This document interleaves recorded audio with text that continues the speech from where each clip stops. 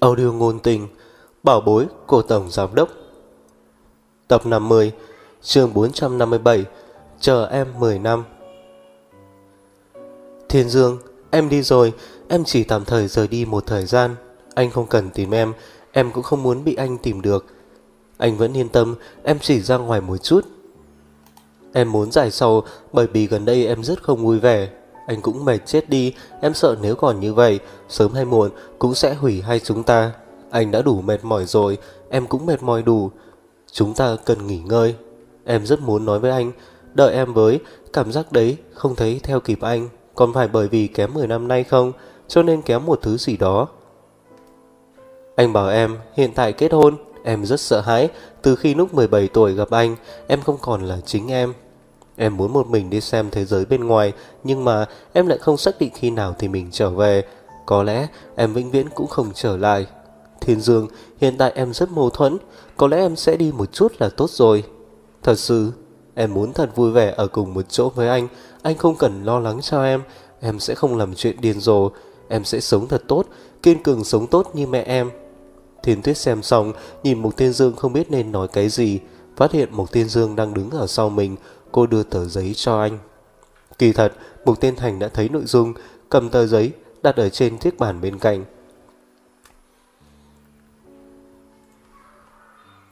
Anh hai, anh họ. Hai người đồng thời mở miệng, rồi sau đó sửng sốt, sau đó đồng thời thở dài, tại sao có thể như vậy? Mục Thiên Thành trầm mặc một lát, sau đó đột nhiên xoay người đi ra ngoài. Thiên Tuyết kinh ngạc nhìn Mục Thiên Dương trầm mặc, cũng đi theo, thấy anh muốn ra ngoài, vội vàng hỏi Anh đi đâu vậy? Anh đi tìm chị dâu Có mua vé máy bay hoặc vé xe lửa không? Tốt, anh đi đi Không đến một giờ Mục Thiên Thành đã quay lại Vội vàng chạy đến trước mặt Mục Thiên Dương Chị dâu Chị ấy đang ở nhà ga Mua vé xe lửa buổi tối ngày mai đi Côn Minh Mục Thiên Dương mạnh đứng lên Chạy hướng ra bên ngoài Vừa ra khỏi cửa đột nhiên ngừng lại Sau đó suy sụp ngồi xuống Cô ấy nói anh không cần tìm cô ấy. Như vậy, cô ấy sẽ không vui. Vậy cậu ấy đi Côn Minh một mình, Thiên Tuyết kêu lên. Cậu ấy đi một mình. Mục Thiên Dương suy nghĩ một lát, Nói với Mục Thiên Thành. Em gọi người đi theo cô ấy, Đừng để cô ấy gặp chuyện không may. Anh muốn từ lúc có thể biết tin tức của cô ấy Cô ấy muốn giải sầu, Để cô ấy đi thôi. Chỉ cần cô ấy vui vẻ là tốt rồi. Thiên Tuyết thở dài nhẹ nhõm một hơi. Như vậy cũng tốt. Uyển tình gốc này, cô cũng không muốn nghĩ. Cậu sao có thể thoát khỏi lòng bàn tay của anh hai? Bớt quá, Cậu đã muốn ở một mình, Để cho cậu ấy một mình đi thôi. Chỉ cần có thể đảm bảo an toàn của cậu ấy. Trên quảng trường nhà ga, Uyên Tinh mới mới mua được vé, Bỏ vào trong ví tiền, ngẩng đầu nhìn chiếc xe, Bước đi đến chiếc xe đối diện. Mua tấm vé này, bất quá tạo thành một loại biểu hiện giả mà thôi. Cô sợ Mục Thiên Dương tìm cô Cô nghĩ anh nhất định sẽ tìm cô dùng chứng minh thư để mua một tấm vé, khiến cho anh đi tra, sau đó bản thân lên ô tô đường dài, không cần lấy chứng minh thân. Nhưng mà đi nơi nào đây? Uyển Tình nhìn một loại chiếc xe ô tô được sắp xếp, mỗi chiếc xe viết tên của một địa danh. Cô nhìn thấy cái tên Vĩnh Ninh, bước đi qua. Cô muốn đi thăm mẹ, sẽ là buổi tối ngày mai. Thiên Dương phát hiện cô không trên xe lửa, khẳng định sẽ đi tìm không thôi. Cô ngừng lại, quyết định tạm thời không đi. Quay đầu nhìn những Chiếc tên xa lạ vẫn không biết là đi đâu. Đột nhiên cô nhìn thấy một từ ngữ quen thuộc, không giống. Tên Thái Bình. Nó thực sự là Thái Bình sao? Uyển tình đeo ba lô lên, lên cái xe đó. Lúc ăn cơm giữa trưa ngày thứ hai, Mục Thiên Dương hỏi Mục Thiên Thành. Hiện tại cô ấy ở nhà ga. À, hẳn là ở đi. Cái gì hỏi hẳn là đi? Mục Thiên Dương không hờn giận, Mục Thiên Thành trột dạ giải thích. Hôm qua chị dâu mua vé ở nhà ga nhưng em không tìm được người ở gần đó. Có thể là trụ nhà trọ nào đó, chứng minh thư được đăng ký cho các dịch vụ tác dụng đi. Hừ, dù sao thì buổi tối chị ấy cũng lên xe lửa. Một đã nữa em sẽ đến xem, nhất định có thể tìm thấy chị ấy. Để anh đi với chú. Nhưng mà... Anh tìm chiếc xe. Tìm chiếc xe mà bình Tình chưa thấy qua xe. Ngô, có phải là chuẩn bị kính viễn vọng? Bãi đỗ xe cách nơi kiểm soát vé rất xa. Thiên Tuyết nghe xong lời của bọn họ, yếu yếu lên tiếng. Em cũng muốn đi. Đi thôi, Mục Thiên Dương nói. Buổi chiều, Mục Thiên Thành tiếp tục tìm người. Uyển Tình đã đến nơi có cái tên Thái Bình, anh tự nhiên là tìm không thấy. Mục Thiên Dương tức giận anh vô cùng, sớm đến nhà ga, đợi đến quái trưa. Mắt thấy chuyến xe lửa uyển tình mua vé, bắt đầu kiểm vé, vẫn không thấy cô xuất hiện. Trước lúc xe lửa chạy 15 phút, Uyển Tình vẫn còn chưa có xuất hiện. Mục Tên Thành sợ nhìn đồng hồ, chạy tới nơi kiểm phiếu hỏi. uyên Tình căn bản không có tới. Mục Tiên Dương tiếp tục chờ, thẳng đến khi xe lửa chạy, anh mới hết hy vọng, không thể nề hà cười. Cô ấy cố ý, cô ấy không muốn anh tìm được cô ấy. Làm sao bây giờ? thiên Tuyết hỏi. Mục Thiên Dương trầm mặc một lát, nói. Đi Vĩnh Ninh, cô ấy muốn đi xa nhà, Tổng yếu sẽ nói tạm biệt với mẹ của mình. Mục Thiên Thành nhìn thoáng qua Thiên Tuyết. Đã chơi thế này, đưa Thiên Tuyết đến trường học trước đi, ngày mai mấy còn đi học. Em lo lắng, cho em đi cùng các anh đi. Thiên Tuyết khẩn cầu nói. Vì thế, ba anh em chạy suốt đêm đến Vĩnh Ninh. Mục Thiên Thành đề nghị với khách sạn tra tư liệu của những người ra vào, nhưng vẫn không tìm được tin tức của hình tình. Sáng sớm hôm sau, ba người tới nghĩa địa.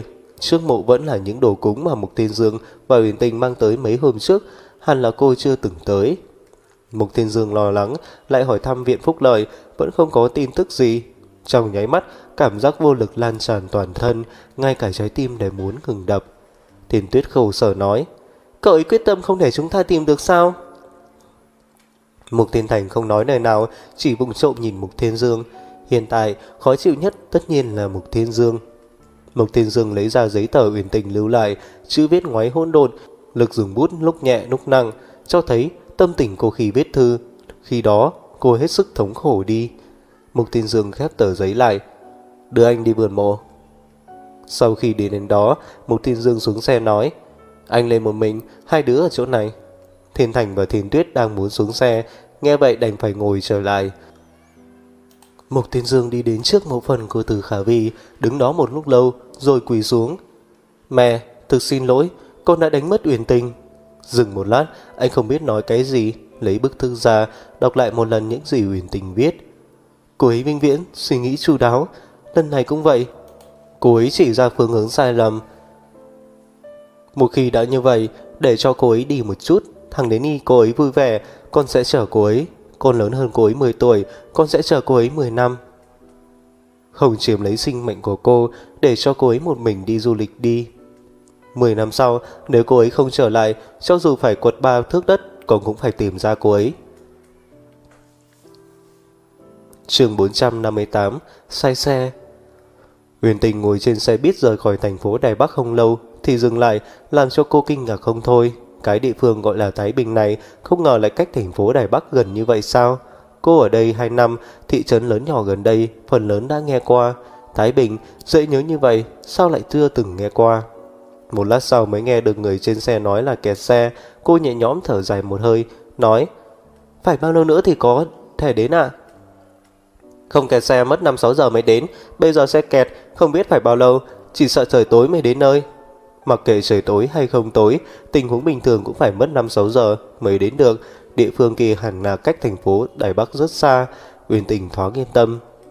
Kẹt xe nửa giờ còn có không thông đường, trong lòng Nguyễn Tình sinh ra một loại cảm giác lo âu, sợ Mộc Thiên Dương đuổi theo. Thế nhưng, thấy hiểu biết của cô đối với anh, anh nhất định gọi người có liên quan, trước kiểm tra giấy tờ chứng nhận của cô. Dù sao đi ra ngoài, rất nhiều việc cần đến chứng minh thư. Lại đợi 10 phút, xe rốt cuộc cũng chuyển động. Uyên Tình ôm lấy ba lô, yên tâm dựa vào trên ghế ngồi. Một đường nhìn phong cảnh, bất chi bất giác đã rời xa khỏi thành phố ồn ào. Xe buýt bỗng nhiên dừng lại, Uyên Tình nhìn thời gian mới có 4 giờ, không phải nói là 5-6 giờ mới tới sao. Lúc này lại nghe người lái xe hô. Muốn đi toilet thì đi nhanh đi. Uyên Tình cao mày, thấy tất cả mọi người đều xuống xe chạy tới bên kia. Có lẽ nơi đó là toilet, có lẽ phải mất mấy giờ nữa mới tới nơi. Vì thế, phòng ngừa vạn nhất, cô cũng chạy tới.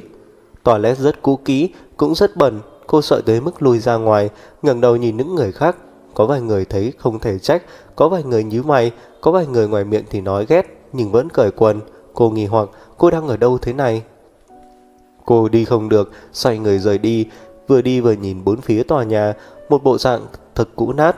Địa phương Vĩnh Chữ kia không sai biệt lắm, nhìn cái địa phương này cùng huyện nhỏ, bình thường người ở đi.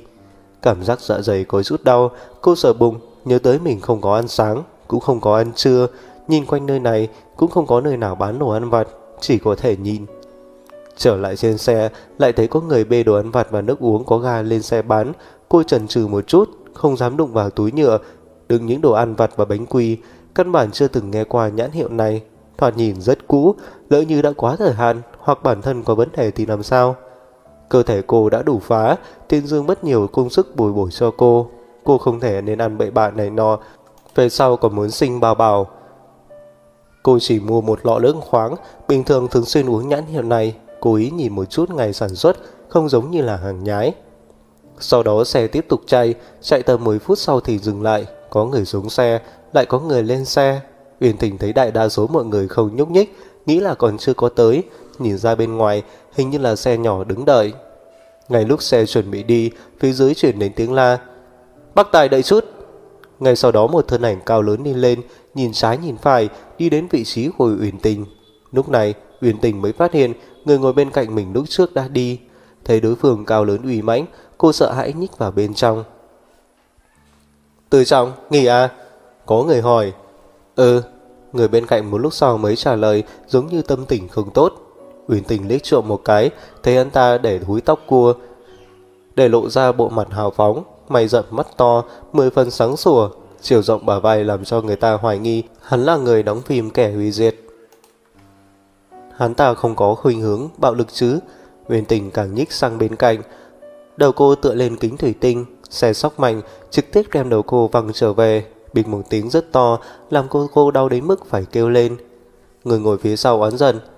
Ai, đường bên kia này nhiều ổ thật, rất nhiều tiền như vậy mà tu đường, vẫn là tu thành cái dạng này. Uyên Tình thấy mới biết tình hình giao thông thay đổi, 10 phút trước xe tiến vào đường cao tốc, hiện tại nhìn ra đường bên ngoài, đường nước bùn cũng không phải a, mắt thường cũng có thể nhìn thấy những gồ ghề này. Cô vớt cái chán đau đớn, khóc không ra nước mắt, phát hiện người bên cạnh giống như nhìn mình. Cô lặng đi một chút, xoay qua, đối phương lập tức xoay đầu lại.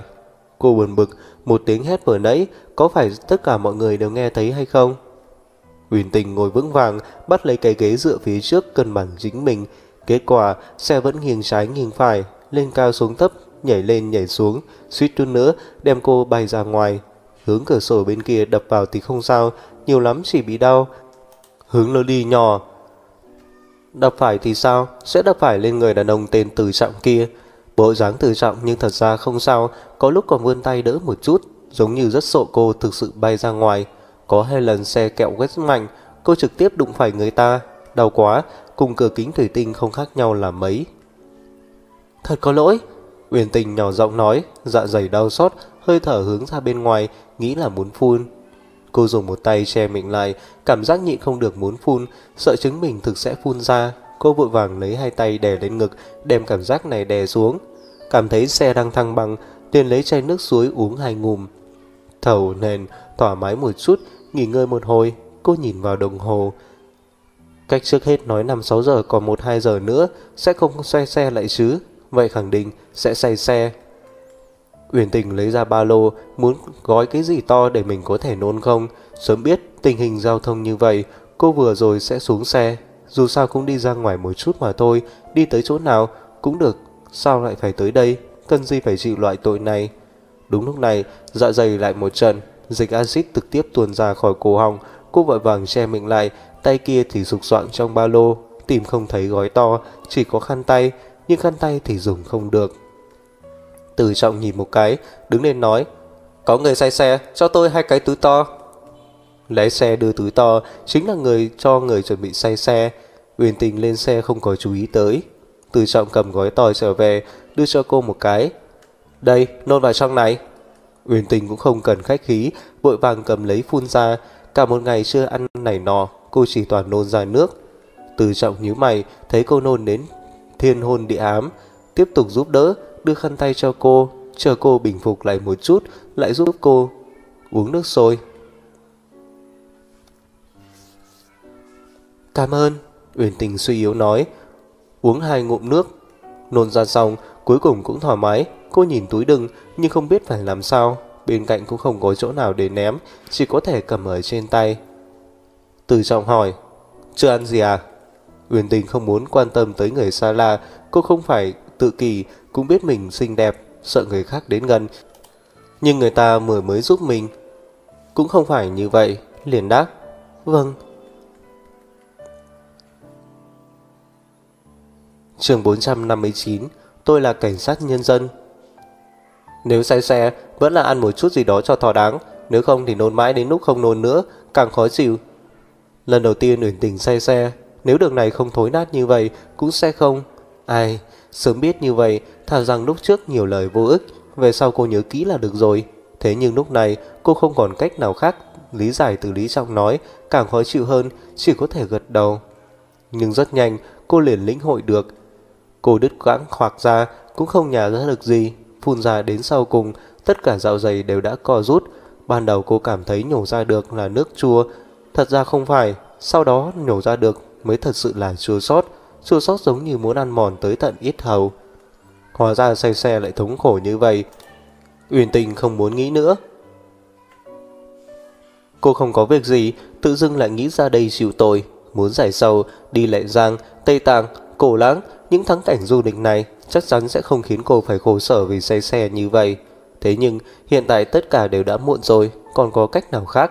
Uyển Tình quay mặt về một bên cửa sổ, đã không còn sức lực để nôn ra, chỉ cảm thấy dạ dày căng lên. Mỗi lần xe run rẩy, đầu cô lại đụng vào cái cửa sổ, vừa mới giờ lại đau, hiện tại hoàn toàn không sao cả, ngay cả đầu ngón tay cũng không muốn động đậy. Từ trọng nhìn cô vai chạm mình như vậy, lại không biết hỗ trợ như thế nào. Về sau lấy cái bao giấy mà cô nôn ra, đụng vào trong bờ vai của cô. Uyển Tình quay đầu, khuôn mặt nhỏ nhắn càng trắng xanh. Dùng cái này lót ở bên cửa sổ. Uyển Tình gấp gáp lấy qua lót ở giữa chán mình và cửa sổ, quả nhiên bớt đau hơn nhiều. Nhanh đến thôi, yên tâm đi. Uyển Tình ừ một tiếng, này thật sự là dễ nghe nhất trong cuộc đời cô. Thế nhưng, từ trọng chỉ lừa cô, căn bản không nhanh, lại quá nửa giờ xe mới dừng lại. Cô lại nôn một hồi. Trong nửa giờ này, đối với cô mà nói vô cùng lâu, nhưng cô vẫn cực kỳ cảm ơn anh. Người trên xe lục tục xuống xe, Uyển Tình ngồi không nhúc nhích, mãi đến khi người đi khách sạch. Trung quanh vô cùng yên lặng, mới nghe được người hỏi. Cô không đi sao? Uyển Tình mở mắt ra, phát hiện trên xe chỉ còn có cô và Từ Trọng, không khỏi có chút sợ hãi. Từ Trọng lại không để ý đến cô, trực tiếp xuống xe. Uyển Tình cũng thu đồ đạc, một tay cầm túi mình vừa nôn ra, xuống xe nhìn một vòng, giống như xóm nghèo, cả thùng rác cũng không có. Ném nơi nào bây giờ? Cô đứng giữa một đống xe cộ đang tắt máy, mùi xăng dầu nồng nặc. Mắt thấy Tử Trọng đi ở đằng trước, cô vội vàng đuổi theo, cũng chưa quen ai, đi theo anh đi, cô không biết nên đi hướng nào. Quẹo một chỗ, đi ra một cửa lớn nhà ga, đến chỗ đên đường cái. Đường cái hai bên có rất nhiều xe máy, cũng có người đi hỏi cô đi đâu. Uyển Tình làm sao mà biết cô muốn đi đâu? Cô dừng bước lại, mờ mịt nhìn về bốn phía, nghĩ thầm rằng không nên tới nơi này, cô lên là đi xe lửa. Đến Vân Nam, tới chỗ đó khẳng định là cảnh đẹp ý vui, chỉ cần hưởng thụ hoặc là thương xuân bi thu là được rồi, không cần suy nghĩ chuyện ăn, mặc, ở, đi lại, cái loại thăng địa du lịch đó. Đều có thể có, duy nhất cần so đo chỉ là giá cả. Nhưng nơi này xem ra giống như kiểu khách sạn cũng không có đi. Đêm nay cô nghỉ ở đâu đây? Đến đâu ăn gì bây giờ? Tiệm cơm nhỏ sạch sẽ hay không? Muốn trở lại thành phố Đài Bắc, thực sự phải đi chuyến xe thiên đi ám què kia sao? Uyển Tình muốn khóc, cô đây chính là tự tạo nghiệt, thì không thể sống. Đứng vài phút, bên tai chuyển đến âm thanh. Cô làm sao thế? Uyển Tình mạnh mẽ xoay người, nhìn thấy Từ Trọng. Từ Trọng nhìn thoáng qua túi lớn trên tay cô. Cô vẫn cầm cái kia làm gì? Thôi, tôi không biết ném ở đâu. Uyển Tình oan ức nói, đây là chỗ khỉ nào, ngay cả thùng rác cũng không có. Từ Trọng hiểu rõ, rất nhiều người quen gốc ở thành phố lớn. Sau khi trở về, không tìm thấy thùng rác, cũng không có thói quen ném rác lung tung. Anh thở dài, nhìn bốn phía, duỗi tay về phía cô. Đưa tôi đi. Uyên tình thấy anh duỗi tay, mạnh mẽ lui lại. Lúc này Từ Trọng mới nhớ tới diện mạo của mình. Người thưởng thức thì nói anh vị đàn ông ngoài hùng, người không thưởng thức thì nói anh hung thần ác sát. Phẫn uất trong lòng hừ một tiếng, anh lấy ra giấy tờ trên người bình. Không cần sợ, tôi là cảnh sát nhân dân. Uyển tình sững sờ tiếp nhận chứng minh thư cảnh sát, cô lại đoán anh là xã hội đen đấy. Thật sự có chút xấu hổ, nhìn trên đó viết hai chữ từ trong. Cô không tự chủ được, nhìn chữ từ kia thật lâu. Hóa ra cùng họ với mẹ, đột nhiên cô cảm thấy thân thiết hơn rất nhiều. Đối với hình tượng thô kệch của anh cũng không sợ hãi nữa. Cô đưa trả chứng minh thư cảnh sát về cho anh, do dự một chút, đưa túi kia cho anh. Anh cầm theo túi lớn đi về phía bến xe, Uyển Tình nghi ngờ, nghĩ ra Anh cứ thế ném đi, tiếp theo nghĩ đến anh là cảnh sát, khẳng định không làm loại chuyện đó. Từ trọng chỉ là đem đồ bỏ vào trong VKC của bến xe, sau khi đi ra thấy cô vẫn đứng đó, lại nghi ngờ hỏi. Sao cô còn chưa đi? Nhà cô ở đâu? Uyển Tình nói, tôi không phải người ở đây, tôi tới du lịch. Từ trọng sừng sốt, nơi này không phải là khu du lịch. Tôi, tôi chỉ là tùy tiện lên xe. Từ trọng nhìn ba lô của cô, đột nhiên nghiêm túc hỏi. Cô muốn đi một mình vào núi? Hả? Cô, một người phụ nữ, nổi điên muốn làm gì? Từ trọng nói, nhìn cô ngồi trên xe đã nôn như thế, thân thể với tối chất cũng vô cùng kém thành dạng gì nữa, còn muốn một người xách ba lô đi lên núi qua đêm. Tôi không phải. Trên núi có hổ, cô có biết không? Uyên tình kinh ngạc sừng to mắt, anh đang dọa trẻ con sao? Từ trọng nhíu mày, tôi không hiểu nổi những người các cô. Nói xong muốn đi, Uyên tình gọi anh lại, anh hiểu lầm rồi. Tôi không biết anh đang nói cái gì, thế nhưng anh có thể nói cho tôi biết nơi này có khách sạn nào tốt không?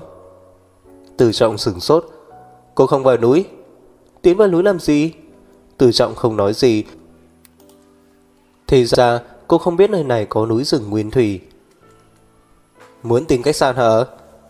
Ừm, Uyển Tình gật đầu dưới tình thế cấp bách, mắt đã tối rồi, cô đã nôn hết ra, tất nhiên phải tìm một chỗ nghỉ chân.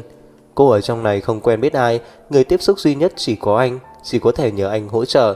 Lúc trước không dám có ý này, nhưng anh là cảnh sát, hẳn không phải là người xấu rồi, mà còn lại cùng họ mẹ với cô. Cô cảm giác muốn coi anh là thân nhân, không hiểu sao cũng thấy rất tin tưởng anh rồi.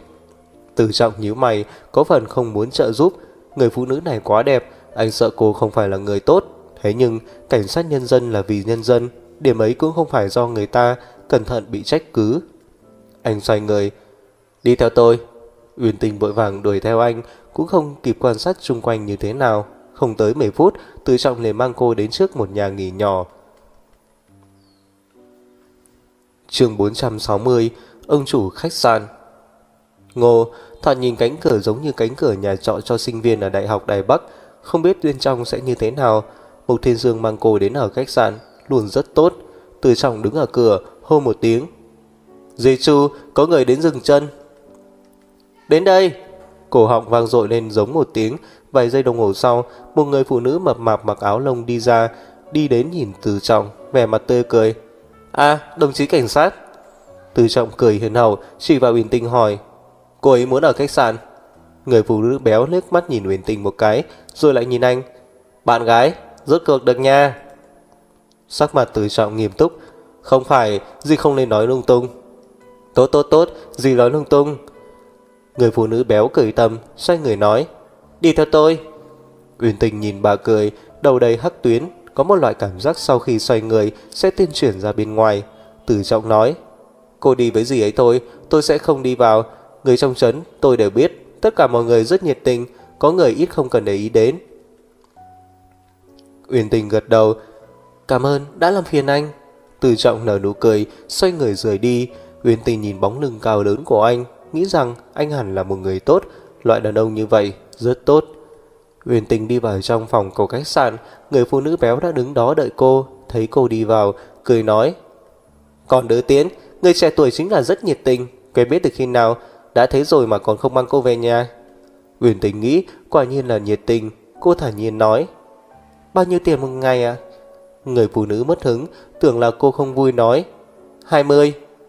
Không nói thách, tốt xấu gì cũng là người quen mang tới. Tiểu tử kia lại là cảnh sát, lần trước còn uy hiếp bà, nói nếu thu phí loạn sẽ mang bà đến cục cảnh sát.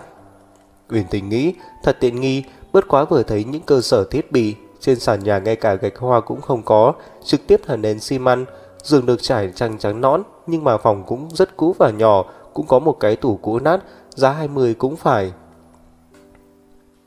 Bây giờ trả tiền luôn sao? Trả tiền cọc trước, người phụ nữ nói, tôi đi lấy sổ để cho cô đăng ký.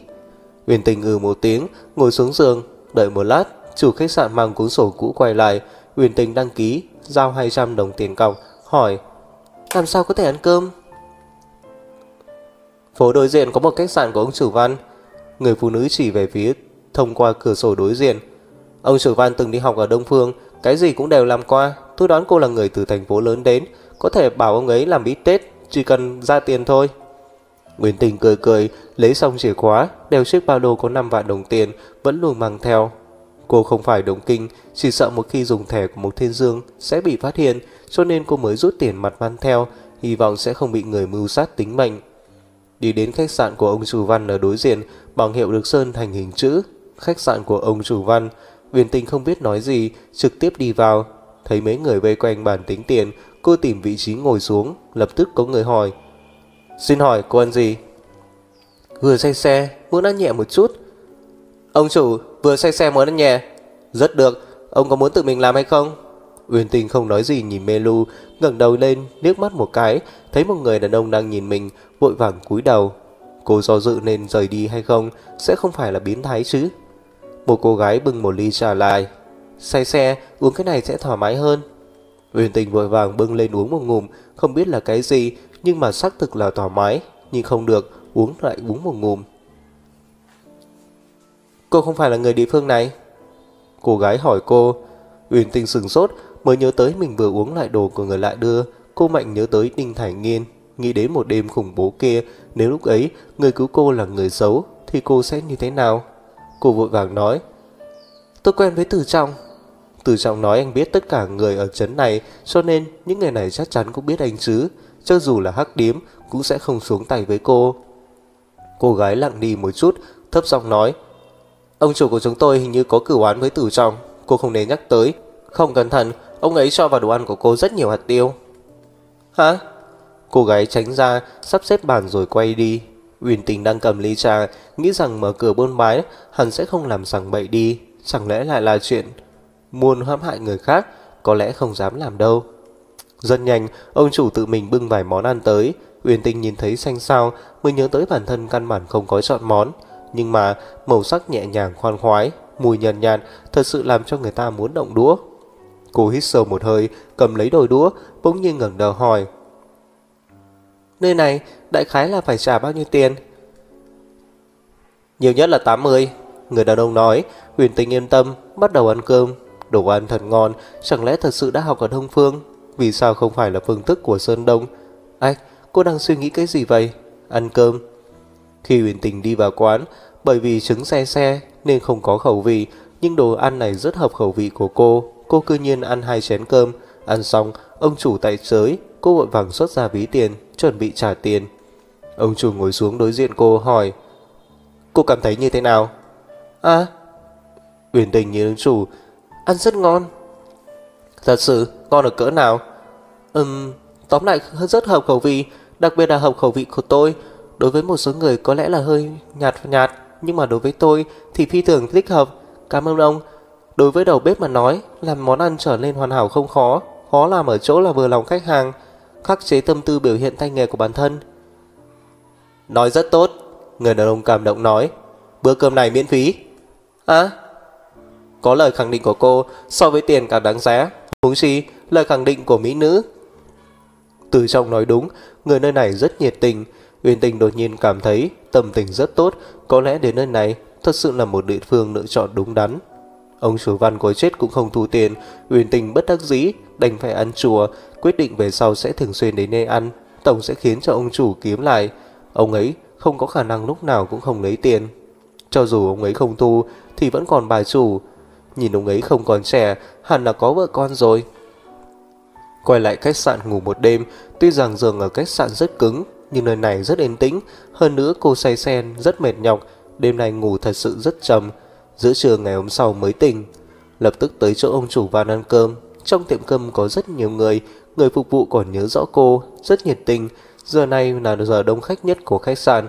Người phục vụ nói với cô, rau xào phải đợi một lát, có thể lựa chọn những món ăn khác trước. Bên cạnh có mấy bát tô đựng thức ăn, sườn xào chua ngọt, thịt bò củ cải, thoạt nhìn không tệ. chương 461, rời khỏi trấn nhỏ. Uyển Tình thấy một nồi đậu hoa, lựa chọn cái kia, đồng thời muốn chén, đồng thời muốn một chén xương nấu bí đao. Tuy không đủ tinh xảo, nhưng vẫn có mùi vị. Cô ăn hai bát cơm, bỗng nhiên cảm giác thịt gầy xuống, đang tròn trở lại. Ừ, dám vẻ mập mạp. Ừ, anh sẽ không cần ghét bỏ mới tốt. Nghĩ đến Mục Thiên Dương, cô trở nên vui vẻ, lại ăn thêm bát nữa, Kết quả ăn có chút không chống đỡ được, giao phó toàn bộ rồi quay lại khách sạn, chỉ có thể ở chấn nhỏ, đi lại tiêu cơm. Trấn nhỏ hơi lạnh, đường phố trống trơn, trong cửa hàng cũng không có người nào, quán hoa quả bên đường chỉ có ông chủ quán. Cô đi tới một vòng, dọc theo đường cũ trở lại, trở lại khách sạn không có việc gì, khóa cửa lại kiểm kê hành lý mình mang theo.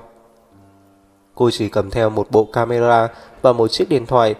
Điện thoại đã bị rơi hỏng, ngoài thời gian nhìn thì cũng không xem được gì. Cô nên mang theo laptop, hiện giờ rất nhàm chán. Sau đó, đột nhiên phát hiện chính mình không đi giặt nổi quần áo, chụp lấy cái ót của mình. Đầu óc gì thế? Thiên Dương đã nói mình cẩn thận, kết quả là đi xa nhà, lại còn ngây ngốc ở ngoài mấy tháng, thậm chí là vài năm, không mang theo quần áo thay đổi theo mùa chưa nói, ngay cả đồ tắm rửa cũng không mang. Nhìn nam bạn đồng ký, mua, thời dịch bây giờ còn tiền bạc. Uyển Tình nói, một phần tiền có làm anh hùng hào hán, tiền bạc dùng xong cô có thể đi về. Cầm một nghìn đồng ở trên người, đến những cửa hàng gần đây mua quần áo. Trên trấn nhỏ không có đến một cửa hàng đồ hiệu nào, đều là quần áo nhãn hiệu lung tung, chất lượng không tốt, kiểu dáng tồi tệ, thế nhưng miễn cưỡng có thể tìm được vài bộ mặc tạm. Tiệm giặt quần áo ở đây cũng có, cô đem quần áo ra thay, không nghĩ muốn giặt, khách sạn cũng không giặt sạch, trực tiếp mang đến tiệm quần áo. Sau đó cô bắt đầu thực sự suy nghĩ, về sau nhân sinh sau này, 5 vạn đồng không đủ tiền, 5 vạn này vẫn là tài sản mà từ Khả Vi để lại, cô không mang theo thẻ của Mục Thiên Dương, cho nên ngoài 5 vạn này cô không có tiền. Hiện giờ, đến nơi không có danh tiếng tỷ, thứ gì đều có tiện nghi, trái lại không cần quá lo lắng. Nhưng nhớ đầu, thay đổi đến lệ giang, tam á gì đó, tiêu tiền như nước chảy rồi. Không thể quá tiêu tiền như nước, ngẫu nhiên cũng có thể ở lại chỗ nào đó làm công. Ừm, cái chủ ý này không sai, cơ bản có thể gửi ngân hàng. Uyển Tình thấy được, lại là một đêm ngủ ngon, đột nhiên cảm thấy có lỗi với Mục Thiên Dương. Cùng với anh, cô hay mất ngủ, rời khỏi anh, cô lại ngủ ngon. Ai, Thiên Dương, anh có hận em không? Lúc trước Uyển Tình cảm thấy chấn nhỏ quanh quẽ, lại một ngày rời giường, 8 giờ sáng, lại phát hiện mấy người trên đường cái, mới mơ hồ nhớ tới đây đều có thời gian cố định. Cô chạy đến văn phòng khách sạn lớn uống sữa đậu nành, sau đó nhìn hứng chí bừng bừng đi tập hợp. Người trên đường chen lấn, cô thật sự vui vẻ, trên đường còn bán ra cao chó. Cô thật sự rất ly kỳ. Qua vài ngày, phát hiện chỗ mấy người kia bán gì đó, mới mạnh mẽ đi qua. Cô đi đến thôn gần cạnh bên trấn, phát hiện Thủy Tú Sơn Minh hoàn toàn không có bị ô nhiễm và phá hoại chút nào, không nhịn được cầm camera lên chụp. Có người thấy cũng coi như không thấy gì, nơi này có rừng rậm nguyên thủy, rừng rậm không lớn như vậy, nhưng miệng mọi người thường nói như thế. Rừng rậm tài nguyên phong phú, thường xuyên có người đến thăm. Mọi người nhìn được hơn, không hiếu kỳ gì về cô. Uyển Tình không biết nơi này là bảo tàng phong phú, còn tưởng rằng chỉ là một trấn bình thường, không đi bao xa đến tới, cho nên cảnh đẹp không tốt, ngược lại cảm giác thấy nhàm chán. Chỗ này cứ như vậy thôi, nên rời đi, cô nghĩ thế. Cô đi hỏi thăm cách rời khỏi trấn nhỏ và tuyến đường, thật sự không muốn nghĩ đi say xe, hy vọng có thể lựa chọn khác. Hỏi mới biết, đường thủy bên này cũng cực kỳ phát đạt, nhưng tới thị trấn mới có thể ngồi thuyền, sau đó đi nơi khác, mà đến thị trấn có thể không đi xe mà cô tới cái đó thôi.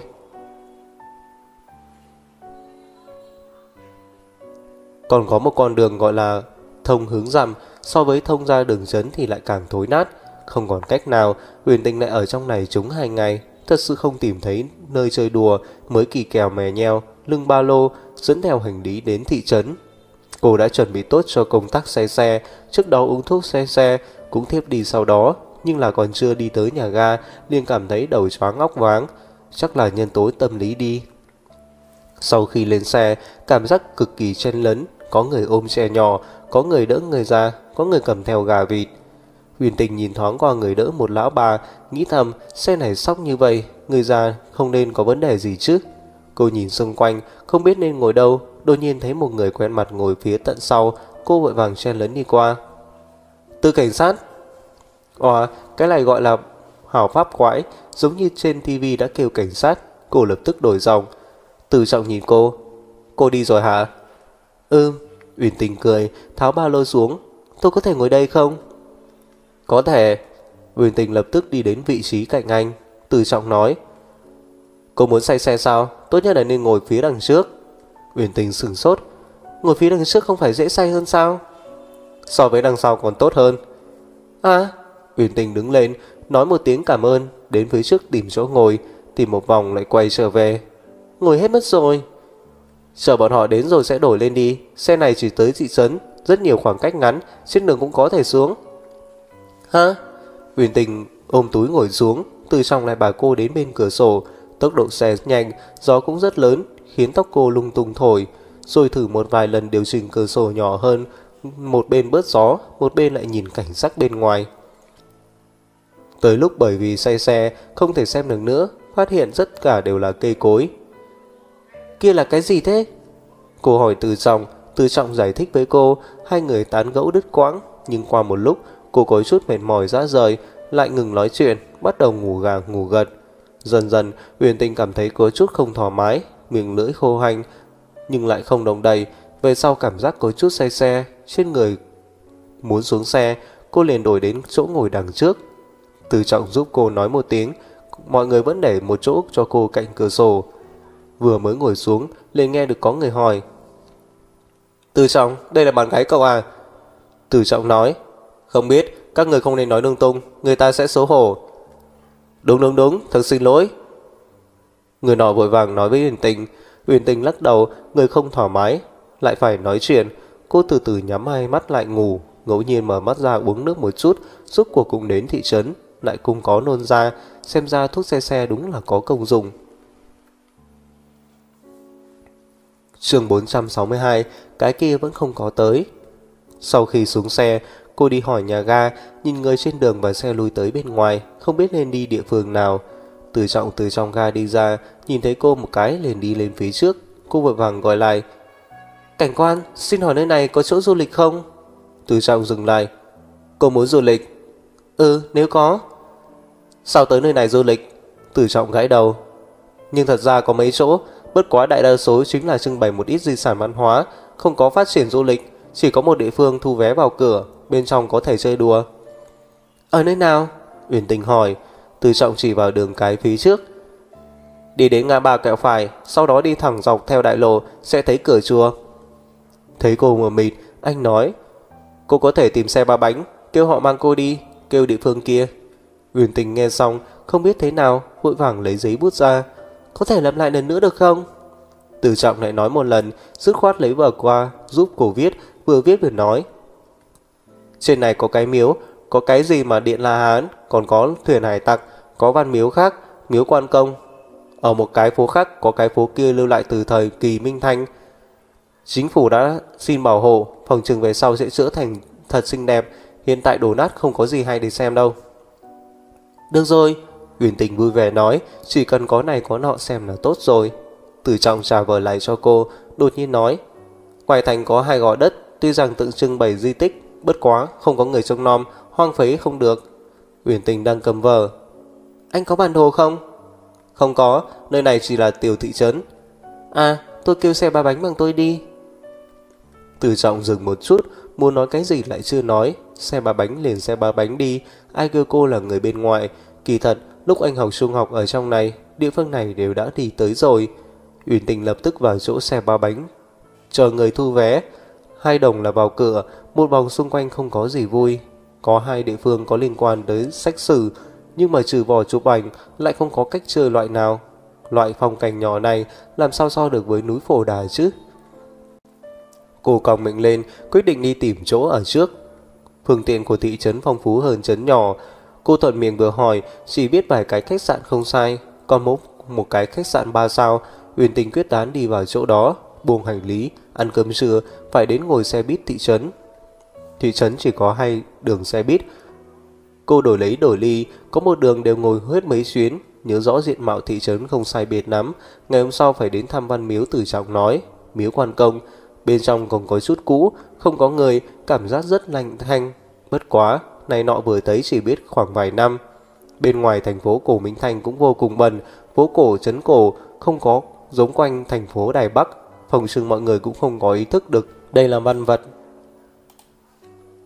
trên đường có bán đồ ăn, Uyển Tình mỗi dạng đều mua một chút đến ăn, hương vị rất không tệ, hẳn là đặc sắc mỹ thực. Kế tiếp vài ngày, Uyển Tình đeo ba lô nhỏ chạy khắp nơi trong thị trấn, đến gò đất ngoài thành nhìn qua, bốn phía gò đất bụi cỏ có một người cao như vậy, sợi tới mức cô không dám tới gần. Bên cạnh có một con sông là nhánh sông Trường Giang, rất nhiều người đang chơi ở bờ sông. Cô cũng chạy tới, tàn bộ dọc theo bờ sông, bắt trước mọi người ném cá cuội trên sông. Nước sông vắt có thể nhìn thấy đáy, ngẫu nhiên lại có thể thấy qua con cá bơi lội qua. Cô xem đến một lần, muốn bắt, không bắt lấy, sau lại nghĩ vẫn là chụp ảnh tốt lắm, liền cầm máy ảnh chụp chờ. Cũng tốt, rốt cuộc không đợi đến, bất quá xếu trắng dừng lại trên bãi sông. Cô xa xa bấm máy, nghĩ về sau cho Mục Thiên Dương xem, nói cho anh biết cô nhìn thấy rõ ràng là xếu trắng. Tiếp theo lúc cô đi dạo phố trong thành, nhìn đến một cửa hàng trà sữa chiêu công, nhớ tới cấp 3 tốt nghiệp làm công này, nhất thời hứng chí lên, liền tiếp nhận lời mời đi vào. Cô rất xinh đẹp, phù hợp cái hình tượng khí chất tốt, lại có phương diện dày dặn kinh nghiệm, tự nhiên là bị mướn người. Cửa hàng trà sữa ở bên đường cùng với khách sạn, mỗi lần cô tới đi làm, người cùng làm việc hỏi cô nghỉ ngơi ở đâu. Cô nói ở tên khách sạn, mọi người tự nhiên sẽ không nghĩ cô thật sự ở nơi đó, để nghĩ đến nhà cô ở chỗ khách sạn kia. Cô cũng không giải thích, nghiêm túc làm việc, tuy rằng tiền ở khách sạn còn nhiều hơn tiền lương mỗi ngày, nhưng cô làm rất vui vẻ. Trong cửa hàng yêu cầu, công nhân lấy nụ cười phục vụ khách hàng, cô giữ nghiêm quy định của cửa hàng, dần dần bình thường cũng trở nên rất thích cười. Ngẫu nhiên tan tầm, cô sẽ đi theo bạn cùng làm đến kiếm mỹ thực quanh mình, nhắc tới bạn bè tốt nhất của cô, Thiên Tuyết, đó cũng là một cái ăn hàng. Nghĩ đến Thiên Tuyết, trong lòng cô cảm thấy thật xin lỗi. Hẳn là chỗ Thiên Tuyết cũng lên lưu lại phong thư, đó là bằng hữu tốt nhất của cô. Cô rời đi thành phố Đài Bắc đã là mùa thu, bất chi bất giác, mùa đông đã tới rồi. Cô không có quần áo mùa đông, cầm tiền lương đi mua với đồng nghiệp. Hai bộ quần áo trực tiếp xài từ lương hết rồi. Đồng nghiệp chéo lưỡi. Cậu thực là bỏ được. Uyển tình cười nói. Không có mặc thôi, dù sao tháng sau có thể có tiền lương. Sau đó một ngày không lâu, khi huyền tình ra ngoài phát hiện tuyết đang rơi, vừa thấy thời gian, tới nơi này đều đã nhanh đến 3 tháng. Thời gian thật quá nhanh nha. Sau khi đến cửa hàng trà sữa, lại bắt đầu công tác một ngày. Hôm nay đến phiên cô Thu Ngân, lúc cô đang kiểm kê tiền mặt, có một vị đồng nghiệp vỗ bụng lại đây. Hay chúng ta thay đổi đi, tôi thật là khó chịu, không muốn đồng. Cô làm sao vậy? Uyển tình hỏi, đồng sự xấu hổ nói. Cái kia lại đến, ơi, trời lạnh, đặc biệt không thoải mái. Uyên tình lặng đi một chút mới hiểu, lại đây nói xin. Xin phép. Hôm nay là 24, ngày mai 25, hai ngày thật là bận nhất, cực kỳ không đủ nhân viên làm việc. Đúng vậy đấy, đêm bình an, lễ Giáng sinh đến đây, đối diện cửa hàng trà sữa có một dạp chiếu phim, phụ cận vài cái karaoke, đến lúc đó khẳng định rất nóng và láo loạn. Uyển Tình và cô thay đổi công tác, nghe cô ghéo vào bàn thu gân nghỉ ngơi, chính mình đi quét tức vệ sinh, làm trà sữa, sau đó cô bỗng nhiên nhớ tới một sự kiện. Cái kia, sau khi cô rời khỏi thành phố Đài Bắc, cái kia giống như vẫn còn chưa có tới. Uyển Tình choáng váng, đổ kem trong tay, đồng nghiệp hoảng sợ vội vàng hỏi. Cô làm sao vậy? Uyển Tình bối rối gỡ tạp dề xuống. Tôi có việc, hôm nay không đi làm. Cô được dẫn cái gì? Hai ngày này không thể nghỉ. Tôi... Uyển Tình đứng ở trung tâm của ngôi nhà, không biết nên làm cái gì bây giờ. Vừa vặn lúc này người chủ đến đây, cô vội vàng xin chủ nửa ngày. Chạy khỏi cửa tiệm, cô dừng mạnh lại, nói với mình. Bình tĩnh, bình tĩnh, chậm một chút, chậm một chút. Khả năng có bảo bối rồi đó, không thể hoàng, bằng không đụng phải phải làm sao, ngã thì không đáng phải làm sao. Uyển Tình hít sâu mấy hơi, bắt một chiếc taxi đi đến bệnh viện Huyền. Hẳn là có đi, mặc dù có dùng bao nhưng không có phương pháp tránh thai. Trăm phần trăm thành công, gần đây khẩu vị cũng tốt lắm, tuy rằng không có ói nhưng có thể sẽ không ói ra bởi vì có ít phụ nữ mang thai cũng không ói. Cũng có lẽ thời gian chưa có tới, có ít người nôn ngén có vẻ trễ. chương 463, cô mang thai 3 tháng. Đi vào bệnh viện, trong lòng Nguyễn Tình vừa kích động vừa khẩn trương. Cô không muốn bảo bảo lại xảy ra chuyện ngoài ý muốn, đi lại vô cùng cẩn thận, đăng ký, kiểm tra. Trước khi có kết quả, đầu óc một mảnh hỗn loạn, cái gì cũng không kịp tự hỏi, chỉ có thể cẩn thận che chở bụng. Kết quả xét nghiệm cuối cùng phải buổi chiều mới có, uyên Tình gọi điện thoại về khách sạn. Về sẽ về muộn 2 giờ, sau đó tự hỏi buổi trưa nên ăn gì. Tuyệt đối không thể ăn linh tinh, thức ăn bên ngoài khẳng định không hợp vệ sinh, có dầu mỡ. uyên Tình đột nhiên trách cứ bản thân, vì sao không phát hiện sớm một chút, 3 tháng đầu mang thai là quan trọng nhất, kết quả cô lại không chăm sóc tốt cho Bảo Bảo. Bảo bảo, con trăm ngàn không nên trách mẹ, mẹ không phải cố ý, về sau mẹ sẽ chăm sóc cho con thật tốt, mang con quay về tìm ba ba. Huyền Tình không muốn ăn đồ ăn bên ngoài, nhưng mà hiện tại không không thể tự làm. Do dự nửa ngày, bụng bắt đầu đói, không nên nói đến tiện ăn cơm. Bên ngoài bệnh viện có mấy nhà, cô nhìn thấy đã có người đóng hộp mang vào bệnh viện, hẳn là mang tới cho bệnh nhân anh. Dám bán cho bệnh nhân, khẳng định là làm cẩn thận. Cô đang muốn đi qua, lại nhìn thấy một người đàn ông đỡ một phụ nữ có thai đi tới quán bên cạnh. Cô lặng đi một chút, đổi lại là ăn mì. Ăn giống người phụ nữ đó đi, có đảm bảo. Khi ăn mì huyền tình vụng trộm quan sát đôi vợ chồng kia, người đàn ông rất tốt với bọn mình. Cô tưởng nếu Thiên Dương biết cô mang thai, khẳng định sẽ cũng đối tốt với cô. Thiên Dương nhất định sẽ rất vui vẻ, hình như anh rất muốn có con, anh nói thích nhất là con gái, hy vọng cô sinh con gái, sau khi sinh con gái lại sinh cho anh một bé trai. Nếu mang thai, tuyệt đối không thể lưu lạc bên ngoài, cô phải quay về ngay lập tức. Cô muốn ba bảo bảo nhìn thấy bảo bảo trưởng thành. Ngô, một mình ngồi xe sẽ vất vả, từ nơi này đến Đài Bắc mất mấy giờ, một mình cô không an toàn, có thể kêu Thiên Dương đến đón cô, anh nhất định sẽ rất vui vẻ. Tâm tình Nguyễn Tình rất tốt, chỉ chờ kết quả kiểm tra. Bất quá cô tin tưởng mình thật sự mang thai, không ngờ ông trời thực quan tâm đến cô, lập tức trả lại đứa bé cho cô. Đầu cô đột nhiên oanh động, nhớ tới một chuyện quan trọng. Lần trước khi sinh non bác sĩ nói như thế nào, trong vòng nửa năm không thể có thai, hiện tại cô lại có đứa bé này. Uyển Tình vuốt bụng, trong đầu lộn xộn, hình như khi mang thai đứa bé này cũng chưa được nửa năm. Vậy... Không, cô muốn sinh, muốn sinh, đây là con của cô, con của cô và Thiên Dương. Uyển Tình cơ hồ đến độ dậm chân, làm sao bây giờ? Bác sĩ nói trong vòng nửa năm cô không thể mang thai, nhưng mà hiện tại cô mang thai phải làm sao bây giờ? Nếu nói cho Mục Thiên Dương, Thiên Dương sẽ vui vẻ hay lo lắng? Tuy rằng anh rất có hy vọng có con, nhưng có thể vì cô mà không cần đứa nhỏ hay không? Cô nhớ tới trước kia từng đọc qua một quyển sách, trong sách nam chính vô cùng yêu nữ chính. Nữ chính mang thai, nhưng đứa nhỏ lại gây nguy hiểm cho sinh mệnh của nữ chính. Hắn tự tay đổ thuốc phá thai cho nữ chính. Lúc ấy cô đã khóc, Thiên Dương có thể đối với cô như vậy hay không? Anh có thể không cần con của bọn họ hay không? uyên tình không còn hưng phấn, thất hồn lạc phách trở về bệnh viện. Ngồi lâu ở hành lang bệnh viện, bác sĩ mới tới, cô chậm chạp đi vào văn phòng, vuốt bụng ngẩn người. Cô mang thai. Lời nói của bác sĩ kéo suy nghĩ của cô quay về, cô vội vàng hỏi. Đã bao lâu? Ba tháng. Bác sĩ khẽ nhíu mày, khẩu khí rất không đồng ý. Vì sao không đến sớm một chút? Hiện tại chỉ cần mang thai vài ngày có thể kiểm tra được. Cô cư nhiên 3 tháng mới phát hiện. Tôi... Uyển tình trột dạ cúi đầu, do dự một lát hỏi. Đứa bé có khỏe không? Phải siêu âm mới biết được. Nga, bây giờ có thể siêu âm sao? Một lát tôi còn làm việc, sợ là không kịp. Yên tâm, rất nhanh, cô đi theo tôi. Đợi một chút, Uyển tình kêu lên. Tôi có việc muốn hỏi ngài. Chuyện gì? Hai tay Uyển tình đặt ở trên bàn, khẩn trương nói. Sau khi mang thai bao lâu thì không thể xảy thai? Tuyệt đối không thể xảy thai. Bác sĩ sau mày nhìn cô. Chuyện này không có tuyệt đối, hiện tại chỉ cần người đó muốn, khi nào cũng có thể phá. Uyển tình kinh hãi. Như thế nào? Cô muốn phá thai? Bác sĩ càng kinh hơn cô, nghiêm túc nói. Tiểu thư, thể chất của cô rất khó có thể chịu đựng. Cô xác định muốn phá thai chứ? Nếu phá thai, về sau cô sẽ không có khả năng có cơ hội làm mẹ nữa. Tôi... Uyển tình không biết giải thích như thế nào, cô mới không muốn phá thai. Nhưng mà chẳng lẽ nói sợ ba của bà Bảo sẽ bắt cô phá thai. Mọi người có thể nói Thiên Dương làm cha nam hay không? Ngô rất oan ức. Đột nhiên cô hỏi Không có cơ hội làm mẹ, ý là gì? Chính là cô có thể mang thai Nhưng là rất không dễ dàng Vậy, về sau tôi muốn sinh thì phải làm sao bây giờ? Cô muốn sinh nhiều con cho Thiên Dương, Tốt nhất là có cả trai lẫn gái, Tốt nhất là có một đứa mang họ của mẹ. Bác sĩ vừa kiên định vừa nói chuyện, Cửa ban công đột nhiên bị mở ra, Một người phụ nữ tóc xoăn xoăn ra, Thở hồng ngọc. Bác sĩ, tôi tới báo cáo. Bác sĩ nói với Uyển Tình.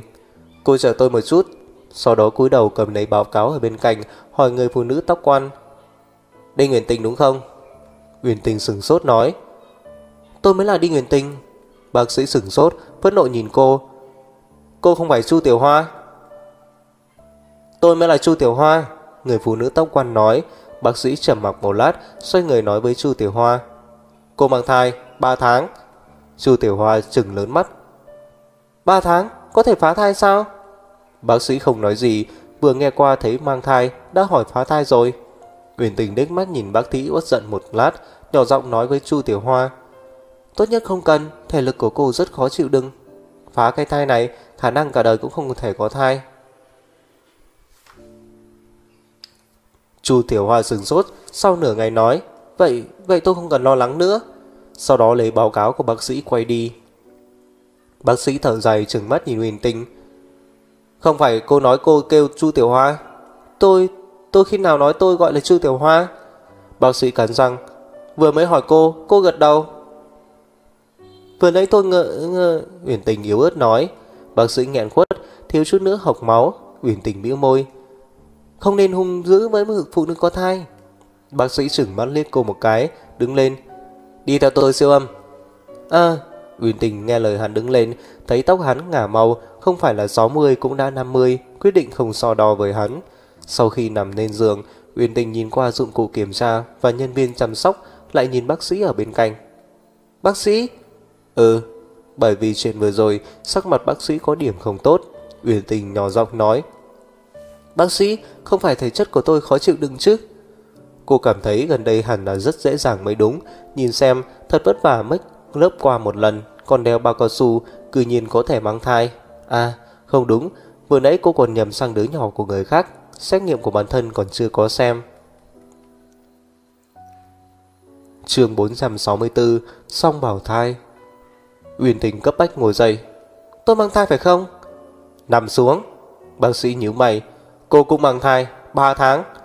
Ờ, Uyển tình nằm xuống, thở dài nhẹ nhõm, sau đó lại khẩn trương. Sinh non không đến nửa năm, lại mang bầu sẽ không có ảnh hưởng đi. Đang lúc lo lắng, nhân viên chữa bệnh và chăm sóc chuẩn bị siêu âm cho cô. Một lúc sau, hai vị bác sĩ đồng thời phát ra tiếng than sợ hãi. Vị nữ bác sĩ thao tác dụng cụ, cười nói với Huyền Tinh. Là sinh đôi đấy. Cái gì? Huyền Tinh kích động, lại ngồi dậy. Bác sĩ Nam đặt tay lên vai cô đè xuống. Năm năm. Sau đó nói với bác sĩ nữ. Nhìn cẩn thận một chút. Huyền Tinh đang ngây người. Sinh đôi. Thật vậy chăng? Nói cách khác, cái đứa nhỏ không có duyên kia thật sự đã trở lại. Cô hỏi, thật sự là sinh đôi sao? Nữ bác sĩ nói, đúng vậy, đã 3 tháng rồi. Có thể nhìn thấy rất rõ ràng. Đó là nam hay là nữ à? Uyển Đình nóng lòng hỏi, bác sĩ cười. Cái này bây giờ nhìn không tới, về sau mới xem được. Quy định cũng chưa thể nói cho cô biết được. À, Uyển Đình xấu hổ cười. Vậy nó có sao không? Không. Bọn nó có sao không? Tốt lắm, không có vấn đề gì. Uyển Đình nở nụ cười, trên mặt tản ra ánh sáng của người mẹ. Cô thật sự có bà bảo, còn là sinh đôi. Ờ, tốt nhất là một nam một nữ. Như vậy Thiên Dương vừa có con trai, lại vừa có con gái, nhất định sẽ cao hứng. Cô nở nụ cười hì hì, bác sĩ già nhìn cô một cái, nói Vui vẻ sao? Ông xã của cô khẳng định cũng sẽ vui vẻ. Uyển Tình đang tươi cười bỗng nhiên cứng đờ. Trong lòng bác sĩ giật mình, không xong, chẳng lẽ là tình cảm của hai người không tốt? Nhớ lại cô vừa mới hỏi chuyện phá tai, hơn nữa là... Uyển tình chờ mặc một lát, mỉm cười nói, kia là đương nhiên, anh ấy rất yêu cháu nhất. Lão bác sĩ cảm thấy nụ cười của cô thực chua xót, nghĩ là cô đang an ủi mình, trong lòng vô cùng thông cảm. Siêu âm xong, Uyển Tình lại cùng bác sĩ trở về văn phòng. Bác sĩ nói với cô một vài điều cần chú ý tới. Cô hỏi, Sinh đôi sẽ rất nguy hiểm sao? Cô còn muốn lưu sao? Bác sĩ nghiêm túc, hiện ra bất mãn. Cháu có thể tưởng tượng tốt lắm, cháu mang thai sinh đôi, hiện tại chỉ có thể sinh một, bao nhiêu người nghĩ muốn một lần sinh đôi còn không được đấy. Cháu không muốn lưu, cháu muốn hỏi một chút. Thời gian nào có thể không sinh non, không thể nói tuyệt đối là không lưu, ít nhất là rất nguy hiểm, nếu lưu lại có khả năng khiến cả người cùng mất mạng không? Bác sĩ nghỉ hoặc khó hiểu nhìn cô, Cô chuột ra dạ nửa ngày mới nói Cháu, cháu đối với cái này không hiểu lắm Lần trước nhìn thấy một người bạn của cháu cô ấy Ai, bác giúp cháu đi Cô cũng không biết nên theo dệt chuyển lên như thế nào, Dứt khoát thôi thì ăn quỵt vậy. Bác sĩ thở dài. Cháu đã qua thời gian sinh non, Làm các loại giải phẫu bụng Trở lên từ 35 đến 50 ngày, Cháu hiện tại đã hơn 3 tháng, Hơn nữa Hình như còn thiếu 2 ngày, Uyển tình lầm bầm nói. Lão bác sĩ nhất thời đen mặt. Chúng ta tính theo thời kỳ dụng chứng, Cháu đã hơn 100 À Uyển tình nhỏ tiếng nói, Bác sĩ thở hổn hển một hơi, Đối với cô thật sự bất đắc dĩ cô bé này hiểu được rất ít a, nhưng không được phổ cập thêm một chút tri thức cho cô. Thời gian càng lâu lại càng nguy hiểm, cháu lại là sinh đôi, lại càng thêm nguy hiểm. Hơn 4 tháng là tuyệt đối không thể ấn theo phương pháp đẻ non, bởi vì đứa nhỏ đã lớn, phải phá. Phá thai kỳ thật cũng không khác sinh non nhỏ, rất tàn nhẫn. 4 tháng sao? Uyển Tình sừng sốt, vậy còn hơn một tháng. Cô ở lại đây nán lại một tháng, đủ 4 tháng lại gọi cho Thiên Dương đến đón cô, đến lúc đó không sinh cũng không được. Cháu rốt cuộc đang nghĩ cái gì? Bác sĩ không rõ, Uyển Tinh lắc đầu đột nhiên lại nói, Bác sĩ, cái kia... Cháu lúc 5 tháng sinh non có thể có ảnh hưởng gì không? Bác sĩ chừng cô, cô cảm giác được bác sĩ giống như rất phản cảm việc phá thai, vội vàng nói, là tự mất à? Ông xã cháu cũng thương tâm rất lâu, cháu cũng không muốn sống. Mất thì mất, một cái phôi thai mà thôi, không cần đến tìm cái chết. Bác sĩ nghiêm túc nói, Uyên Tình không biết nói gì, bác sĩ này thật kỳ quái, thế nhưng cô có thể cảm nhận được bác sĩ này là người tốt, không gọi yên tâm. Nhưng cô nhớ tới lúc trước có bác sĩ nói trong nội nửa năm không được mang thai, trong lòng không khỏi sợ hãi. Bác sĩ này giống như một người định hướng, tuy rằng phản cảm đối với việc phá thai, nhưng rất, rất quan tâm mình. Nếu để cho ông biết, ông sẽ phản đối hay khuyên cô sinh đứa nhỏ. Lúc này bác sĩ nói, Tháng năm sau, thời gian này có chút gần, cháu nên cẩn thận một chút, cái này đối với thân thể không tốt. Cháu là con gái mà không biết tự bảo vệ mình, cơ thể mình thì mình phải tự để ý. Đối với lời nói của đàn ông thì phải mau lẹ, thần sắc nghiêm nghị, lúc không nên chạm vào thì tuyệt đối không cho chạm vào. Chạm vào cũng không phải là biện pháp tốt. Uyển tình đỏ mặt, bác sĩ phụ Kha Sản nói đến việc này có phải chưa bao giờ xấu hổ hay không, chỉ cho rằng truyền thụ trí thức. Cô xấu hổ cắn môi, lại có chút khẩn trương hỏi. Không thể sinh sao à? Có thể, thế nhưng đối với có thể sẽ có tổn hại. Hơn nữa là cháu còn nhỏ, trong nhà lời nói không thành vấn đề, vậy thì sinh đi, không cần ý vào tuổi trẻ, sau khi sinh lại bồi dưỡng cho thật tốt, miễn cho có thể để lại di chứng. Theo các tác nhân không đề nghị cháu sinh non, mấy tháng trước cháu mới lưu sản, lại lần nữa về sau sẽ rất khó có thể hoài thai, cho dù mang bầu, bởi vì tử cung bị tổn thương, cũng có thể hình thành thói quen sinh non, khi đó cháu sẽ hoài niệm xong bào thai này. Uyển Tình có điểm muốn khóc. Hiện tại cháu hoài niệm đứa con trước, bác sĩ, bác yên tâm, cháu sẽ sinh. Vậy thì đúng rồi, cháu đã có bệnh án, lại là sinh đôi, phải cẩn thận làm đầu, về sau nhất định phải định kỳ kiểm tra, đừng vì tiết kiệm tiền mà không làm. Yên tâm, cháu sẽ... Nhà họ Mục không thiếu nhất là tiền, Thiên Dương đã biết, khẳng định ước gì mỗi ngày đều muốn biết tình huống của đứa nhỏ, làm sao có thể thiếu đây. Trong lòng Nguyễn Tình làm một phen quy hoạch, trước từ trước, sau đó không cần đến quán rượu, thuê phòng ở nhà ăn cơm, dưỡng thai thật tốt. Một tháng sau gọi điện thoại cho Thiên Dương. Hôm đó Uyển Tình trở lại quán trà sữa, thế nhưng vụ trộm tìm ông chủ từ chức. Ông chủ có chút kinh ngạc. Cô mới đến không bao, sao lại từ chức? Uyển Tình làm việc không sai, người xinh đẹp, cười ngọt ngào, dẫn tới sinh ý trong quán cũng tốt lắm. Ông chủ tự nhiên luyến tiếc để cô rời đi, vẫn hỏi cô có phải tiền lương không hài lòng hay không. Cô lắc đầu, tôi là có việc, phải từ chức, tôi có thể làm xong trong tháng này, nhưng tháng sau tôi khẳng định không tới, ông không phát tiền lương tôi cũng không có biện pháp. Ông chủ sừng sốt, hai ngày nay bận rộn, không thể làm gì khác. Quên đi, lần khác chúng ta lại nói tiếp, sẽ không không phát tiền lương cho cô. Qua lễ Giáng sinh, Uyển Tinh lại nói với ông chủ, ông chủ vẫn không tha, Uyển Tinh đưa ra giấy xét nghiệm, ông chủ nở nụ cười.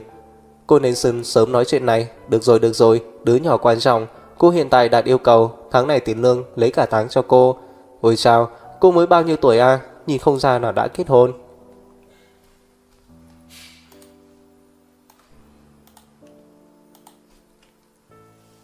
Hết tập 50. Cảm ơn các bạn đã lắng nghe, theo dõi và ủng hộ team trong suốt thời gian qua. Mình là Rocky. Các bạn hãy like, share, subscribe, comment đóng góp ý kiến để team ngày càng phát triển nha. Chúc các bạn một Giáng sinh vui vẻ, hạnh phúc và ấm áp bên người thân của mình nha. Thank you and bye bye.